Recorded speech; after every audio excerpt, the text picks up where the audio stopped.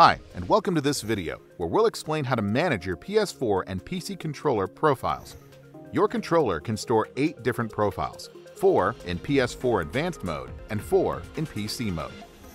Managing these profiles is identical in both modes. The four profiles of the selected mode appear to the right of the window. All your profiles must have a name. Your controller has four default profiles. Nacon underscore neutral, a neutral profile with the L1, R1, and L2, R2 buttons as shortcuts. Nacon underscore FPS, a profile for first-person shooter games with modified sensitivity for aiming, and the L3, R3 buttons used as S2 and S4 shortcuts. Nacon underscore FPS dash Pro, similar to the Nacon FPS profile, but with even more precise aiming. Nacon underscore Arcade, a profile to give you instant responsiveness from your right stick and access to the L3, R3 buttons via the S2 and S4 shortcuts.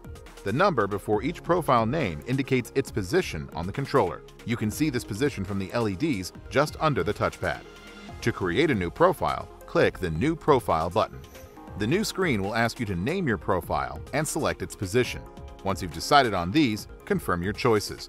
You will then see a screen with an overview of your profile with the name you chose in the relevant position. From this screen, you can access all the different settings for your controller. You can adjust the response curve and dead zone of the left stick, adjust the response curve and dead zone of the right stick, adjust the controller mapping and configure the directional pad to work in 4 or 8 directions, configure the responsiveness of the L2 and R2 buttons. These settings will be explained in more detail in another video. When you have finished adjusting these settings, you can transfer them to your controller by clicking the Activate Profiles button at the bottom right of the interface. If you skip this step, your profile will not be sent to your controller and will only be saved on your PC or Mac.